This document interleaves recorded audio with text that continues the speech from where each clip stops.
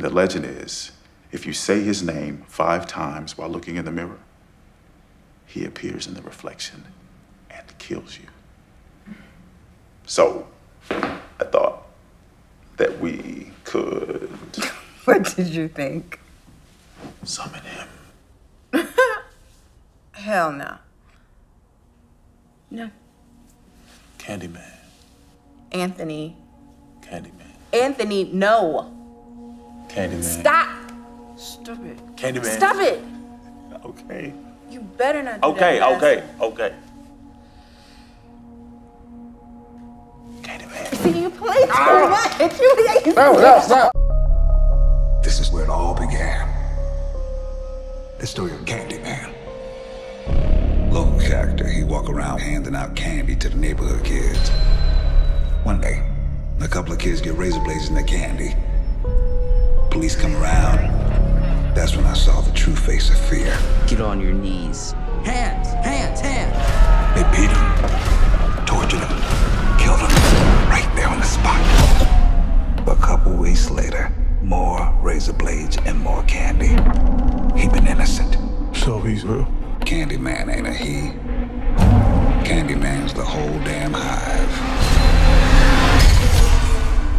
If you're out here looking for Candyman, you ask me, stay away. I feel really connected to this story. Go on. Right here in this neighborhood. The legend started. Uh-huh. And the legend is if we say his name five times while looking in the mirror, we could summon him. Summon the Candyman. Hell no. Candyman. Anthony, no. Candyman. Stop. I don't want to get creeped out in my new apartment before bed. Can Candyman. Black people don't need to be summoning. I dare you. Don't say that. Say his name. Candyman. You better not do that last one. Candyman. You want to be a part of the story, right? No. Say his name. Candyman.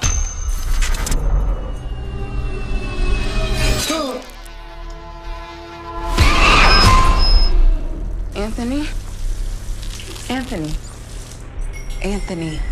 Are you okay? Anthony. What the hell is going on? This neighborhood is haunted. I think I made a mistake. I brought him back. Candyman isn't real. He chose you. He has purpose for you. Tell everyone. New to the neighborhood.